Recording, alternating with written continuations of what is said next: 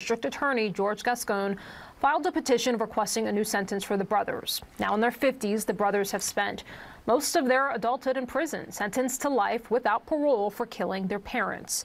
But Eric and Lyle Menendez contend that they were driven to murder after years of what they describe as sexual abuse by their father. Much of the evidence about the alleged abuse was excluded at their last trial, and they were found guilty. Gascon says that they've paid their debt to society and deserve the opportunity to be reevaluated. Here to discuss is former federal prosecutor Neama Rahmani. So, Neama, this, this seems to have happened really quickly within a few months. You had the documentary, you had the Netflix series, now this petition. What are your thoughts on how this has all played out? Well, Rahel, we're talking about the perfect storm of PR and politics. Obviously, the Netflix series Monsters has a lot to do with this, but we're also a week and a half away from a highly contested election for district attorney here in Los Angeles, and releasing the Menendez brothers makes for good politics for district attorney George Gascon.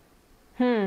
So, family and supporters of the Menendez brothers have said that they want the brothers released and they want them released by Thanksgiving.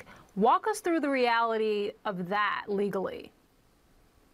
That's not going to happen. So Gascon could have recommended a resentencing to time served, but he didn't. Instead, he's recommending 50 to life.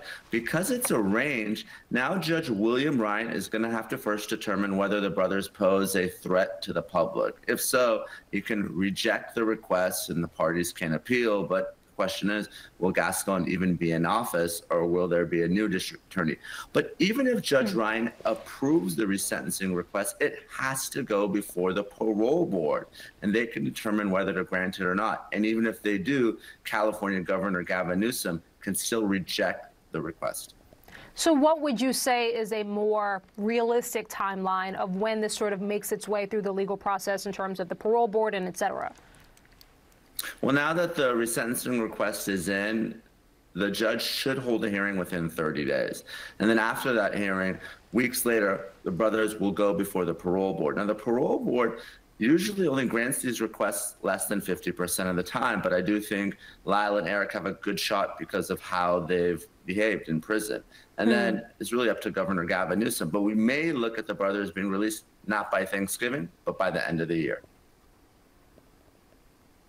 Okay, Neama, we're going to have to leave it here because my understanding is that we actually have uh, the for, well, the current vice president.